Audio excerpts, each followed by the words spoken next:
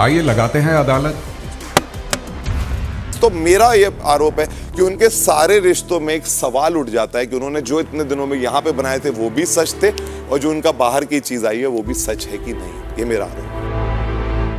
He knows he accept his fault कि वो कहीं ना कहीं गलत थे लेकिन इसका मतलब ये नहीं है कि वो पहले असली थे या अब असली है। लेकिन यस जहाँ पर आयशा की बात आती है वो कहीं ना कहीं इस मोमेंट पे वीक हैं लेकिन नकली नहीं है that's my point Munawar ji selective लोगों के साथ तो रिश्ता निभाते नज़र आए। जो लोग उनकी हाँ में हाँ मिला हाँ, रहे थे exactly. जो लोग उनके हिसाब से चलने के लिए तैयार थे। आप जब बताते हैं यू you नो know, मेरी एक एक रिश्ता है उन्हें मैं वो ऐसी है उन्हें मैं उन्हें बहुत प्यार करता हूँ ये चीज़ उनकी दी हुई है। जब वो ऐसे कहते हैं ना मास लेवल में लोगों का दिल पिघलता है लोगों को बहुत अच्छी लगती है वो। अचानक से एक दिन पता चलता है कि ऐसा कुछ ही